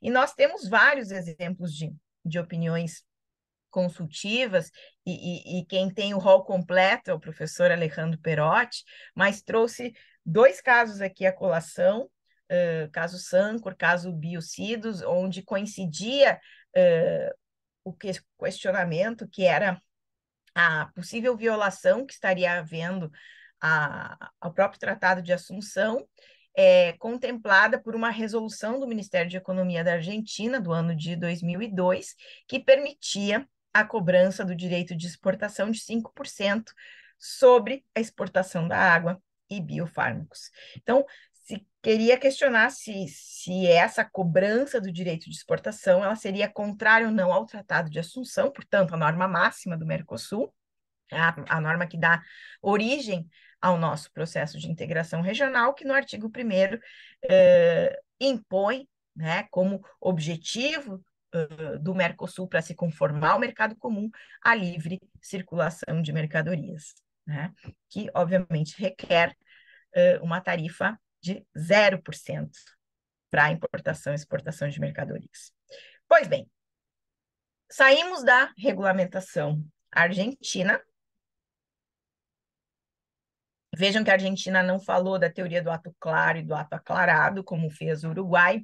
A Argentina não inseriu a possibilidade de uh, questionar a validade de uma norma né, uh, mercosulina e in introduziu uh, a legitimidade da parte para solicitar a opinião consultiva. Pois bem, chegamos então ao direito uruguaio, o Uruguai foi o terceiro país a, a regulamentar o pedido, e aqui é interessante porque isso foi feito uh, pela acordada 549 de 2001 da, da Corte Suprema Paraguaia, e o primeiro país, o primeiro poder judiciário a solicitar uma opinião consultiva que efetivamente se converteu em uh, interpretação do TPR foi o Paraguai, né? Quando não existia essa regulamentação, foi a opinião consultiva 1 de 2007, né? que questionava uh, a aplicação do protocolo de Buenos Aires sobre jurisdição internacional em matéria contratual, quando ele permite que as partes uh, estabeleçam um foro uh, distinto, um foro estrangeiro, uh, no contrato internacional, em comparação com a normativa paraguaia vigente na época, que determinava que os tribunais paraguaios teriam jurisdição. E também questionava se se aplicaria ou não a um contrato de distribuição uh, esse protocolo de Buenos Aires sobre jurisdição ou o protocolo de Santa Maria sobre jurisdição internacional em matéria de relações de consumo. Pois bem, Paraguai então deu pontapé inicial aí no, no mecanismo, e mesmo sem existir regulamentação interna, o que nos deixa em evidência que não é a falta de regulamentação que pode impedir o exercício do direito. Voltando aqui para a acordada. Quando nós analisamos uh, essa normativa paraguaia, nós vemos que a, a fonte de inspiração foi a acordada uruguaia, porque nós vemos muitos pontos de contato e de similitude. Então, por exemplo, aqui, uh, nesse artigo primeiro, há uma referência a que a opinião consultiva ela deve uh, se referir à interpretação jurídica do direito originário derivado do Mercosul, mas também pode se referir uma dúvida acerca da validade desses instrumentos normativos, questão que também está presente na legislação uruguaia. Outro ponto de contato com o país uh, oriental é a inserção da teoria do ato claro e do ato aclarado. Né? Uh, vejam bem, ali no, no, no artigo 4 que eu trouxe para vocês a colação, uh, nós vemos na letra C que o pedido de opinião consultiva ele deve versar sobre uma ou mais normas dos instrumentos que foram enunciados lá no artigo 1 que se refere ao direito originário derivado do Mercosul, e cuja interpretação ou validade não for manifestamente clara. Mesmo os critérios lá da normativa uruguaia com relação ao ato claro. Se a norma é clara, não precisa opinião consultiva, não precisa requerer interpretação. E que o tema objeto da consulta não tenha sido matéria de uma opinião consultiva prévia, que é a teoria do ato aclarado, ou seja, se o TPR já se manifestou em opinião consultiva anterior sobre o mesmo assunto, não há necessidade de novamente é, se formular o pedido. Então, aqui, um grande ponto de contato com a legislação uruguaia e que também reitera a necessidade da causa estar em trâmite, né?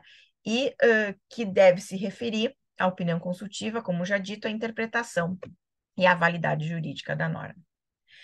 O Paraguai, assim como fez o Uruguai e a Argentina, ele reitera a, a questão de que a opinião consultiva não será vinculante nem obrigatória, né? retomando a norma vigente à época, que era a decisão 37 de 2003, que hoje é a 5 de 2002, e que contempla ainda é, o mesmo conteúdo com relação a isso. Né? E também o Paraguai, acertadamente, determina que deve haver a suspensão da causa, né? O juiz da causa ele deve suspender o procedimento até receber a resposta interpretativa um, do TPR. Né? Então, nós vemos aqui que há muitos pontos de contato, muita similitude com a legislação uruguaia e muitos pontos um, que são distintos, tanto do Uruguai como do Paraguai, com relação à legislação argentina, acordada 13 de 2008, que acabamos de ver, que, portanto, deixa de fora a questão da validade das normas, discussão da validade das normas do Mercosul, né? E que deixa de fora o requisito de admissibilidade que foi imposto pelo Uruguai e pelo Paraguai, que diz que se a norma é suficientemente clara ou se já houve opinião consultiva anterior sobre o mesmo assunto, não se faz novamente a consulta. E a Argentina aqui, temos que deixar uh, registrado, não previu a suspensão da causa, o que sim previram os dois países anteriormente referidos. Por fim, né, Brasil. Brasil foi o último país a regulamentar o pedido consultivo. Isso foi feito um tempo depois, né? A última regulamentação tinha sido a Paraguaia em 2008, o Brasil recém em 2012 faz essa regulamentação interna através da aprovação da emenda regimental 48, que acrescentou uh, o inciso oitavo ao artigo 7 e também os artigos 354H, 354M, ao regimento interno do STF. O que fez a regulamentação brasileira? Né? Como a gente pode observar ali do 354H, Precisa, obviamente, a causa estar em trâmite diante do, do Poder Judiciário brasileiro para que possa ser solicitada opinião consultiva. Isso coincide com a regulamentação dos demais estados, coincide com a regulamentação regional. E o Brasil, assim como a Argentina o fez, é bastante fiel à normativa regional, no sentido que o objeto do pedido de opinião consultiva deve ser exclusivamente a vigência ou interpretação jurídica das normas do direito originário ou do direito derivado do Mercosul. Então, vejam, aqui a regulamentação brasileira, ela encontra um ponto de contato com a regulamentação interna argentina, não fala de uh, questionar se a validade né, da normativa Mercosul, como o fez a legislação uruguaia e a legislação paraguaia. Outra questão importante é que, da mesma forma como fez a regulamentação argentina, acordada 13 de 2008, essa alteração no regimento interno do STF permitiu que não só o juiz da causa possa solicitar uma opinião consultiva como legitimado ativo, mas que também o particular, ou seja, a parte do processo, autor ou réu, possa formular o pedido consultivo. Ela pode solicitar ao juiz da causa e ele tem que, então, formular uh, essa petição consultiva ao STF, aqui no caso brasileiro. Então, aqui nós vemos uma ampliação uh, também do rol de legitimados ativos, mesma coisa com relação ao direito argentino, porque não só o juiz tem legitimidade ativa, mas o particular também, questão que vem bem ao encontro desse dessa forma de fomento, digamos assim, a que haja uma participação do particular no sistema de solução de controvérsias do Mercosul. Com relação aos efeitos da opinião consultiva, a regulamentação brasileira ela retoma o então artigo 11 da decisão uh, 37 de 2003, hoje 12 de 5 de 2022, que diz que a opinião consultiva não será vinculante nem obrigatória. Os quatro estados é, repetiram ipsis literis esses efeitos da opinião consultiva na sua regulamentação interna. Com relação uh, as normas, portanto, uh, do direito uruguaio, argentino, paraguaio e brasileiro, nós percebemos uh, as semelhanças e diferenças claramente quando analisamos essa regulamentação interna. Então, nós poderíamos uh, estabelecer, de um lado, Paraguai e Uruguai com regulamentação muito próxima, né? Uh, permitem a discussão da validade da norma, Mercosul permitem uh, como causa ou critério de admissibilidade uh, que a norma obedeça, que o pedido consultivo obedeça à teoria do ato claro e do ato aclarado, né?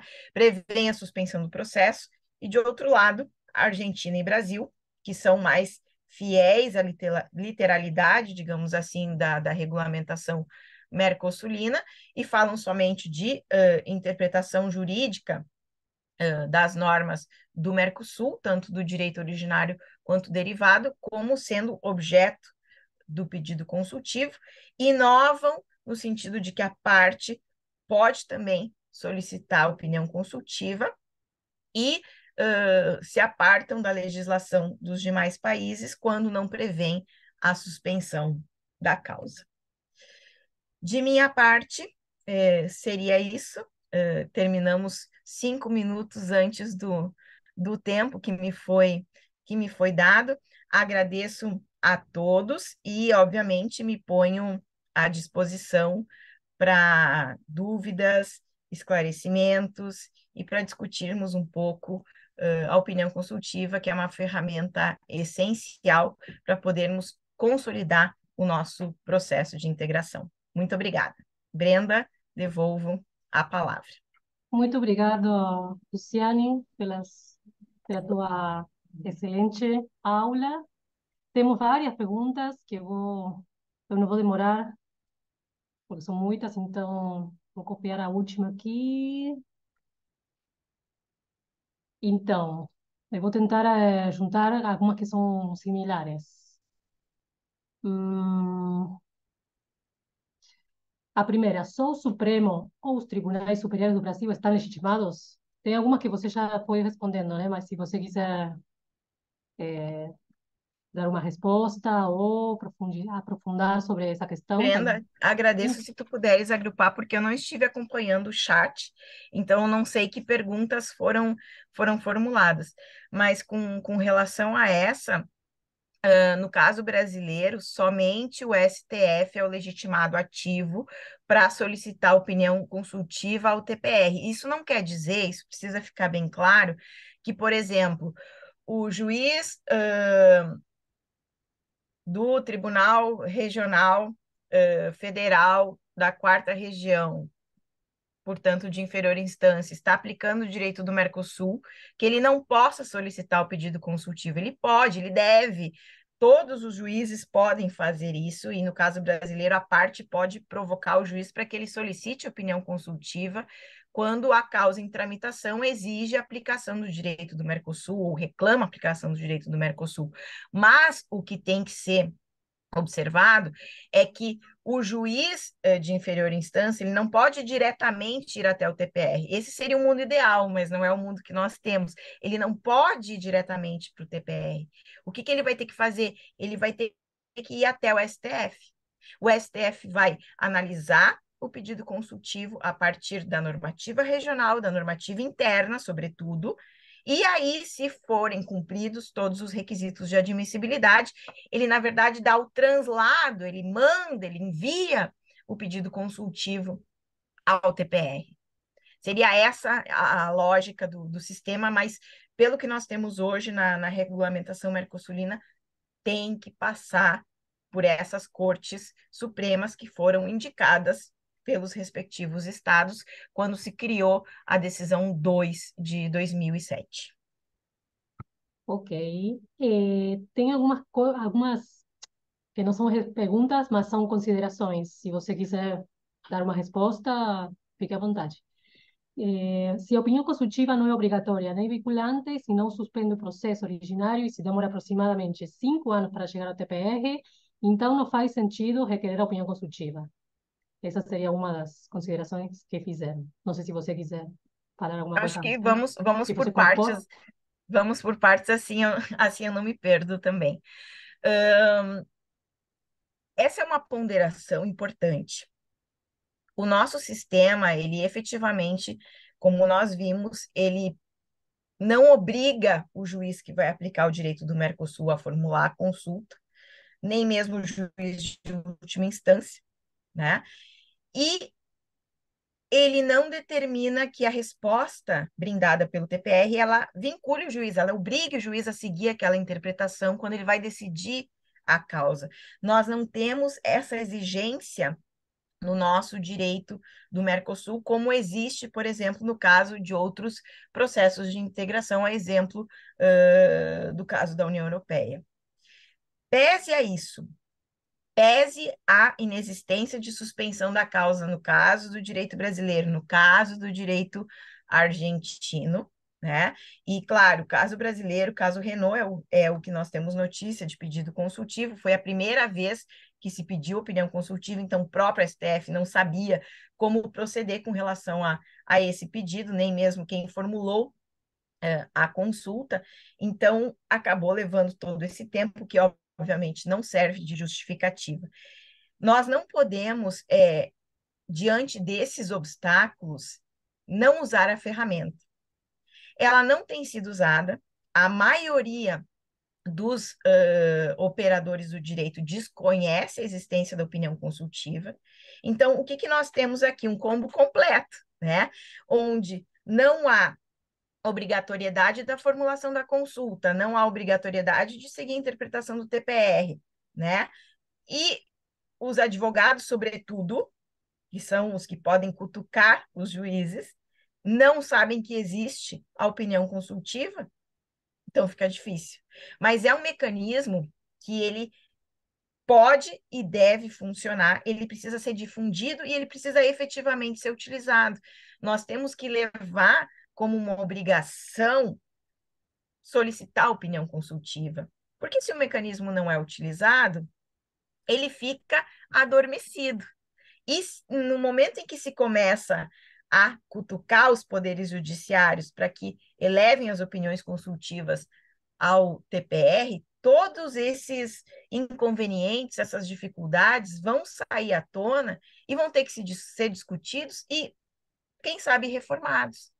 Né? E uma reforma não seria algo tão difícil de propor no Mercosul, porque não implicaria num novo protocolo de olivos, nós temos já um, um, o protocolo de olivos 2, que na verdade foi feito no Rio de Janeiro, mas que reforma uh, o sistema de solução de controvérsias, não seria necessário isso, porque a não obrigatoriedade ela não está em olivos, ela está no direito originário, nas decisões do Conselho Mercado Comum, então seria de, de mais simples resolução, mas que também esbarraria na questão da internalização pelos estados. Mas o grande problema, na minha visão, pese a nossa estrutura intergovernamental, pese a ausência de, de efeito vinculante e a obrigatoriedade, é o não conhecimento da ferramenta. Se não se conhece, não se utiliza. Se não se utiliza, não pode dar certo. Então, não, essas questões não podem servir de entrave para não utilizar a ferramenta. Ela é um, uma das fontes do direito do Mercosul, ela interpreta o direito do Mercosul e está aí para ser utilizada. Obrigada. Bom, passo a seguinte. E, falta apenas vontade política ou existe algum outro óbice para a reformulação da opinião consultiva, tendo em conta as críticas apontadas na aula e tornar o processo de integração mais efetivo? Excelente pergunta. Uh, existem muitas questões envolvidas.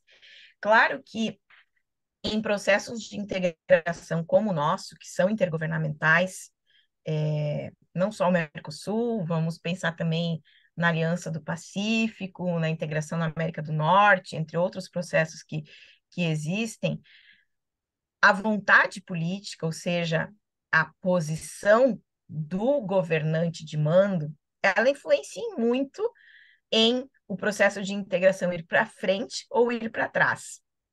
Porque aqui nós o que vemos não é uma política de Estado uh, se fazendo presente uh, nas discussões que envolvem o processo de integração, senão uma política de governo, uh, que é modificada na medida que entra governante, sai governante.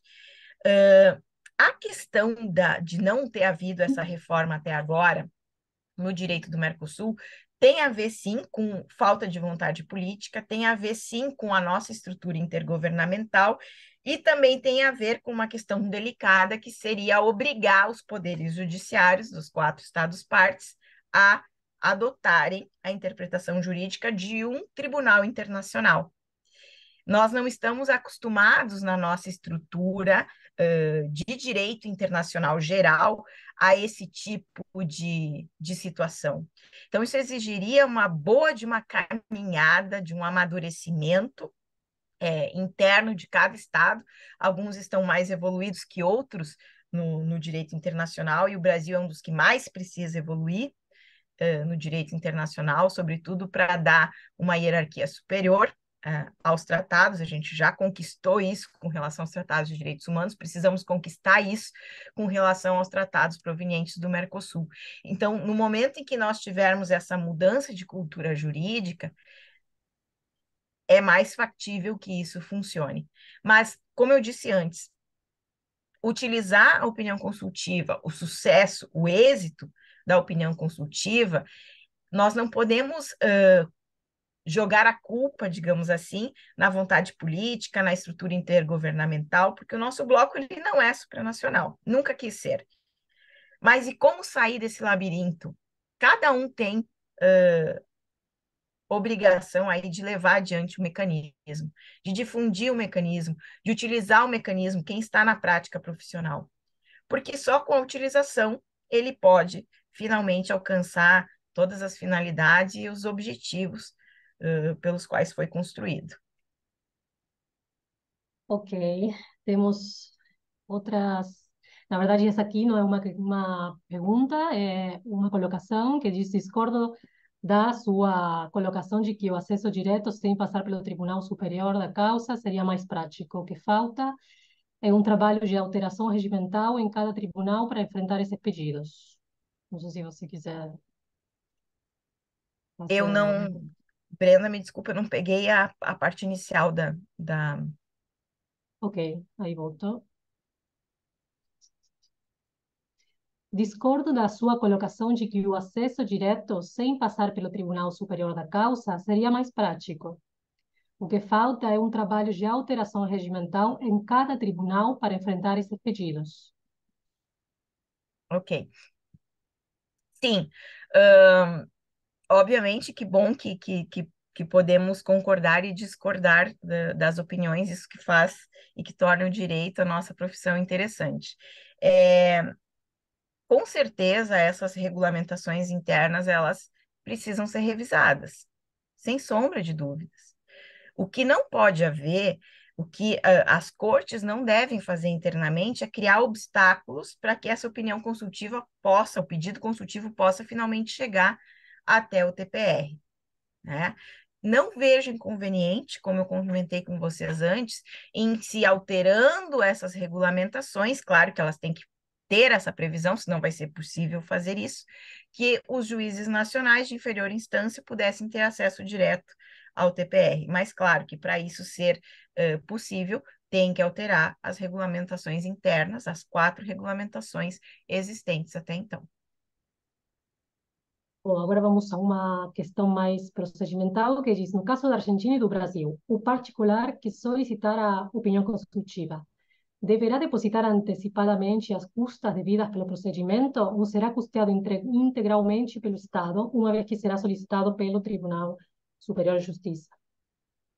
As custas, uh, os gastos, digamos assim, né, de emissão da opinião consultiva, eles são suportados pelo Estado ao qual pertence o tribunal que formula a consulta. Né? Isso provavelmente uh, será levantado na finalização do procedimento, no próprio pedido, na própria consulta, resposta né, interpretativa do TPR, consta uh, a questão referente aos gastos, como deve ser feito uh, o pagamento efetivo, quem é responsável. Então, no final do pedido consultivo. Exatamente. E uma questão que você colocou, que, que o, a conta especial é de 6 mil dólares, daí alcançaria para uma opinião consultiva por ano, né? Se for, se for o caso. Porque pagando cinco árbitros, eu acho que são mil dólares por árbitro, mais dois mil para o relator, dá em torno de uma opinião consultiva por ano. Esses seis mil dólares. E o pior de tudo, né, doutora Brenda, é que sobra sobra dinheiro porque nós não temos opiniões consultivas. Exatamente. É, bom, mas isso é uma coisa também que tínhamos falado na primeira aula, de que os estados decidiram baixar também o, mon, a, o monto da o valor das contas, né, também. É, recentemente, faz dois anos, três anos eles é, fizeram isso também.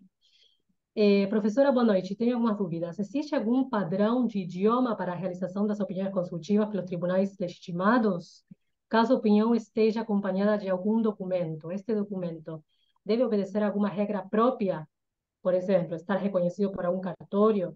Os tribunais têm legitimidade para regulamentar os procedimentos consultivos de forma interna em casos de conflitos de competência. Qual, qual princípio é utilizado? Territorialidade, resultado, incidência. Muito obrigado. Bom, vamos, vamos tentar responder. Tu me ajuda aí, Brenda, porque são tantas vou coisas, tantas coisas eu já, já me esqueci de algumas. Um, com relação a, a formato, acho que é a pergunta nesse sentido, né? Uh, formato do, do, do, pedido consultivo. Uh, pelo direito do Mercosul e pelas quatro regulamentações internas, não existe uma forma específica.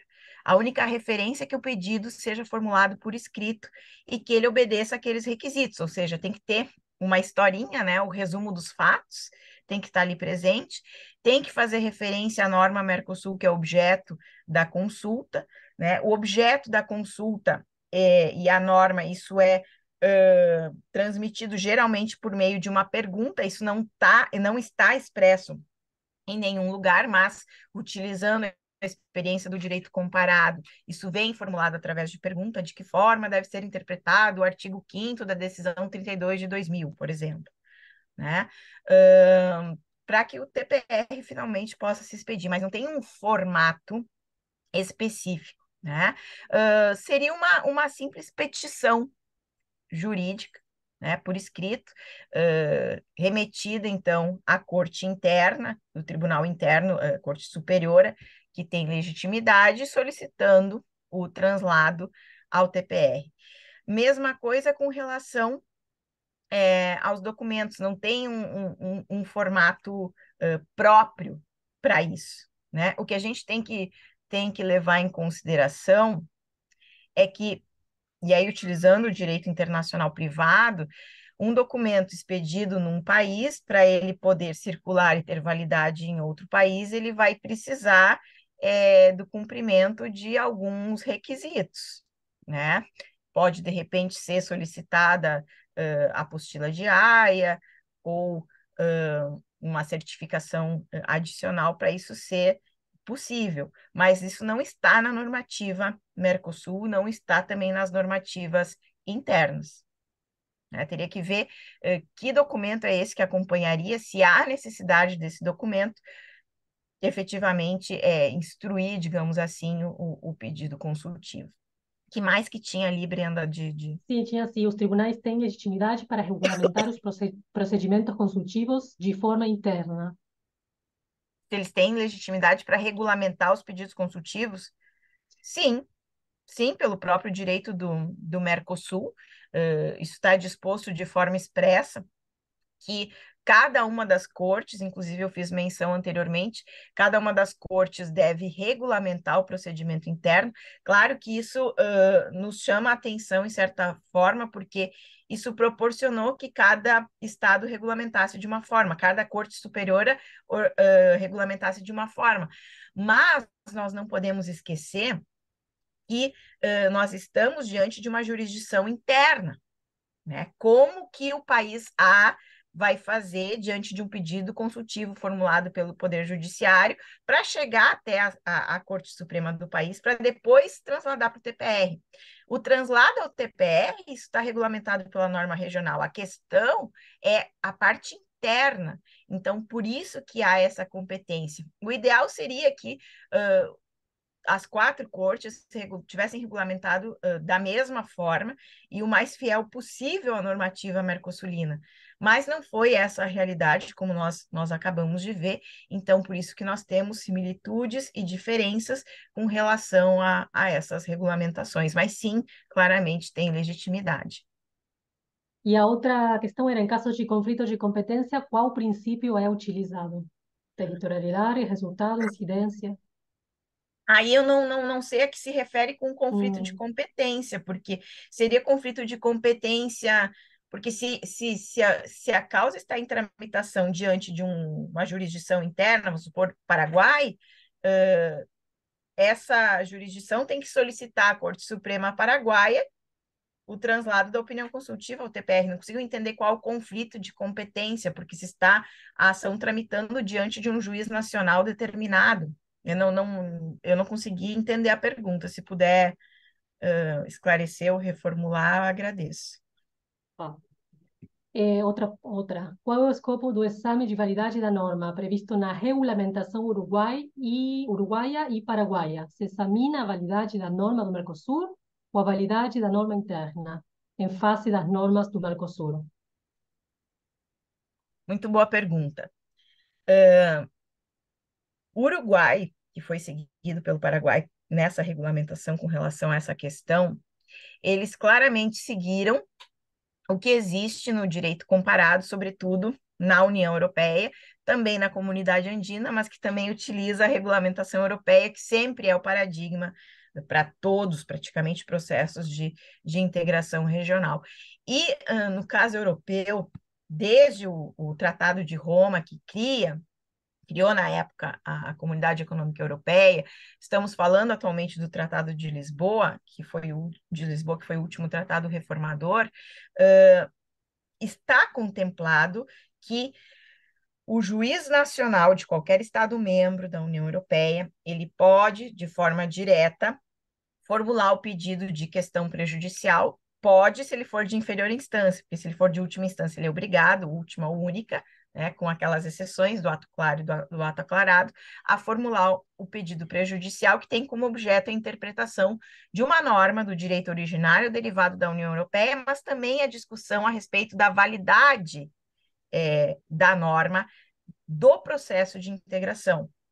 Então, uh, a intenção desses dois países, do Paraguai e do Uruguai, foi insertar é, no sistema interno deles um requisito de admissibilidade próximo dessa experiência europeia, mas que, como nós vimos da regulamentação mercosulina, não consta é, das decisões que foram analisadas.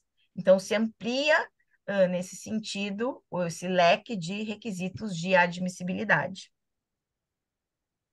Um exame de validade, por exemplo, poderia ser, só para ilustrar, uh, tomar uma decisão X do Conselho Mercado Comum e questionar se ela uh, é, é, válida com relação ao que dispõe o Tratado de Assunção em tais e tais itens, né? A compatibilidade, sobretudo, do direito derivado com relação ao direito originário, que nós sabemos que existe uma hierarquia né, contemplada pelo Protocolo de Ouro Preto, no sentido de que o Tratado de Assunção, o Olivos, o Ushuaia, etc., eles preponderam sobre o direito derivado. Artigo uh, 41 do Protocolo de Ouro Preto. Temos aqui outra dúvida. De que órgão parte essa necessidade de se criar novos aclaratórios junto a cada país, para que o Brasil evolua em suas normativas? Eu não entendi, não Brenda, pode, pode repetir? Você também não que, de que órgão de que órgão parte essa necessidade de se criar novos aclaratórios junto a cada país para que o Brasil evolua em suas normativas? Você não entendeu o meu português ou não entendeu a pergunta? Não, teu português é claro e transparente. Te felicito, eu não entendi a pergunta. Sim, Criar novos aclaratórios? Eu não entendi a que se refere isso. Será que se refere à possibilidade que, por exemplo, o Brasil teria de, na regulamentação do regimento interno do STF, contemplar essa teoria do ato claro, do ato aclarado? Será que é isso?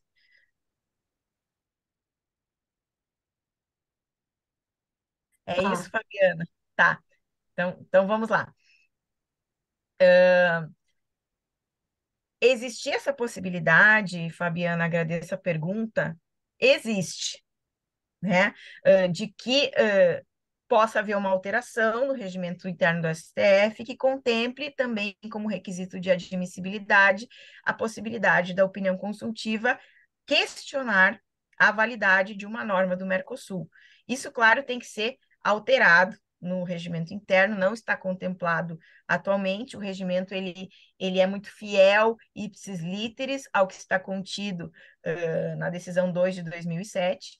Então, uh, não se poderia, a priori, questionar a validade, mas uh, cabe também uma construção jurídica, como alguns colegas entendem nesse sentido, de que o fato de referir somente interpretação jurídica do direito originário derivado do Mercosul, não excluiria questionar a validade é, de uma norma, por exemplo, do direito derivado do Mercosul, que seja incompatível com uma norma do direito originário.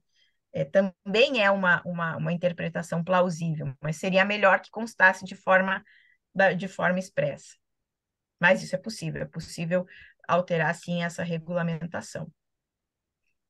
Tem aqui também outro grupo de perguntas, mas eu acho que algumas você já respondeu. Só que, por exemplo, aqui, a, a primeira, existe algum modelo de peti petição para requerer opinião consultiva ao STF da mesma maneira como existem para os mais diversos tipos de recursos? Não existe modelo. Não existe modelo. Por isso que se fala que uh, há uma ausência de formalismos ou de formalidades com relação ao pedido consultivo, não só com relação ao Brasil, ao STF, mas também com relação uh, aos outros estados partes. Para a petição, existem verbos próprios como oferecer, impetrar, etc.? Não, não, não, não tem nada disso disposto, não. Quais são as custas em nível, nível interno para solicitação, provocação ao STF? Olha, aí nós teríamos que, que fazer uma, uma pesquisa de campo para ver o que, que seria imposto em termos de, de custas. Não, não sei responder internamente essa pergunta. Tá? Teria que ver o que, que, for, o que, que seria decidido, por exemplo, pelo STF com relação a essas custas, se é que existem, né? O EPROC está habilitado? Também não saberia responder nesse sentido. É muito específico de regulamentação interna. Imagino que sim.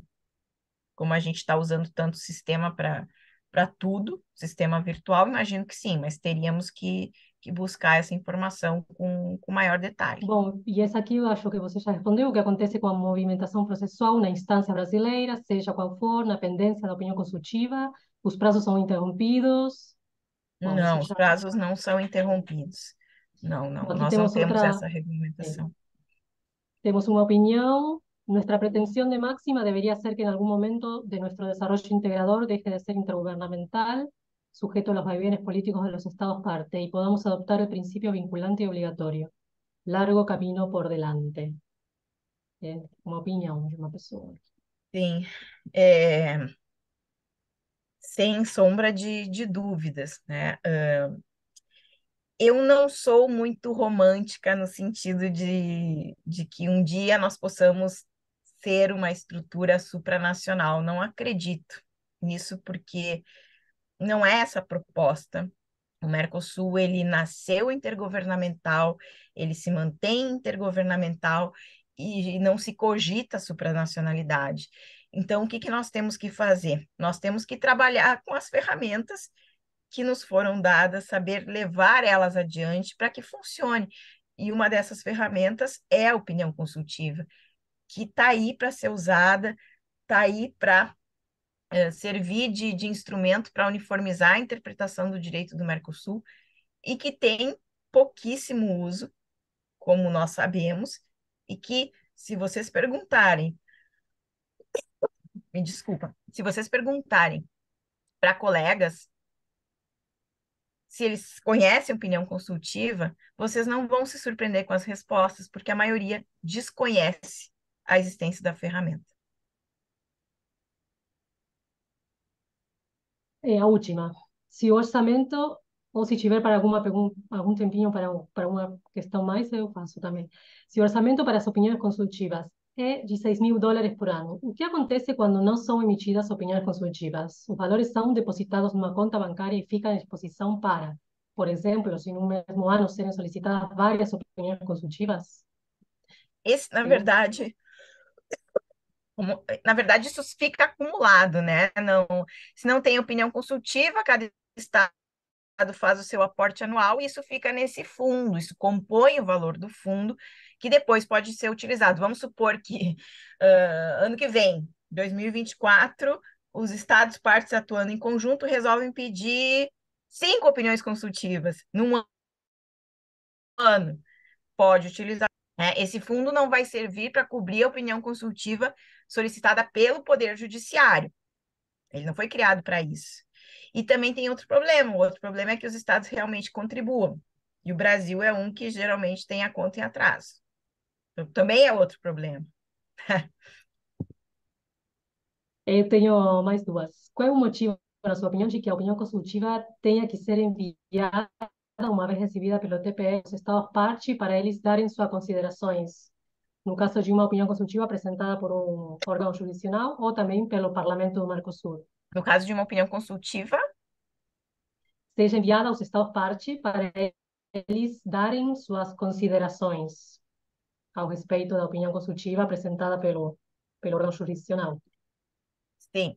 É, na verdade, a ideia da regulamentação, que dá esse prazo de 15 dias para as coordenações nacionais do Grupo Mercado Comum se manifestarem, prestarem informações, uh, opiniões, enfim, a respeito do objeto da interpretação que foi solicitada, é ampliar a participação é, dos estados no momento da interpretação do direito do Mercosul. Essa participação ela não é obrigatória, ela é opcional, mas é uma forma de, de suprir, eh, em certa medida, um déficit democrático que nós temos na região.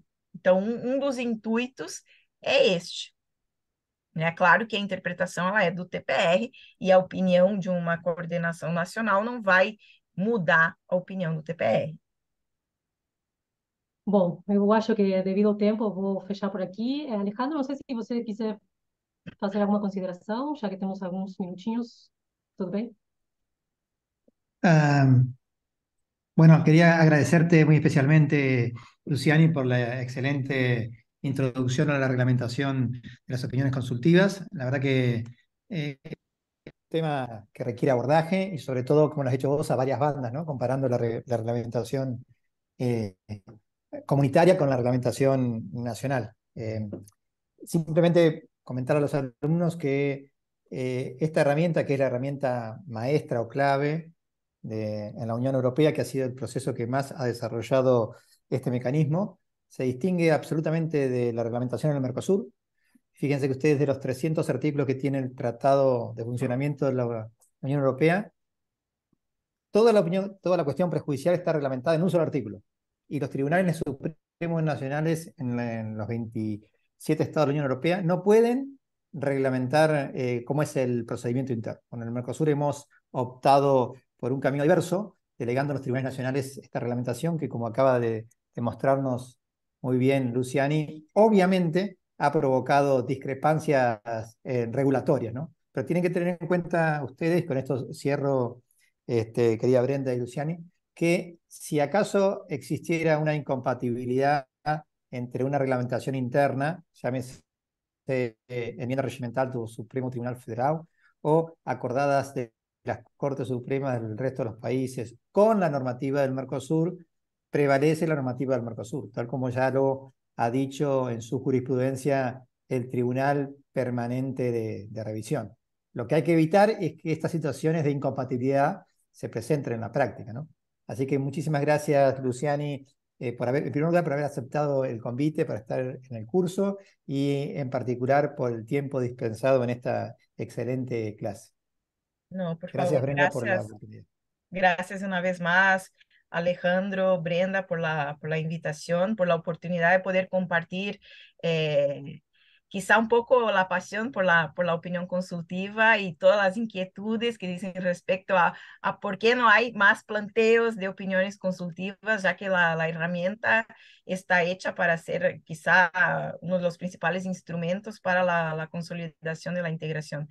Y Alejandro es eh, quien más sabe del tema de opiniones consultivas, así que usen, usen y abusen con moderación. Bueno, ya tomo, este, no, disculpa.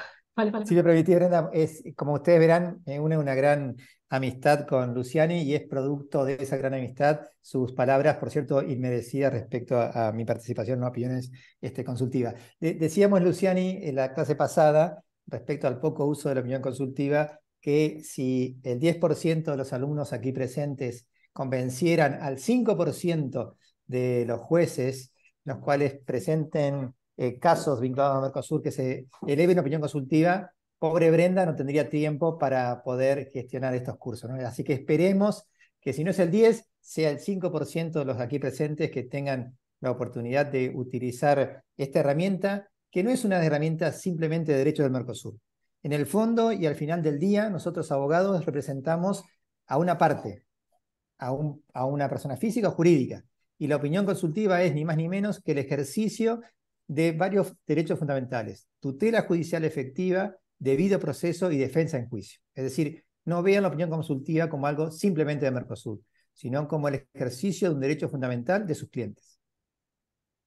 Bom, muito obrigado e, e vou fazer então as, as, os avisos da próxima aula, que os professores vão ser precisamente o Alejandro Perotti e nosso árbitro suplente pela República do Uruguai, Jorge Fernandes Reis, e que vão agora sim começar as duas últimas aulas que vão ser mais práticas e eh, o tema 4 seria as opiniões consultivas na prática dos órgãos jurisdicionais nacionais. Então, hoje a, a Luciane deu um panorama mais geral de normativa, etc.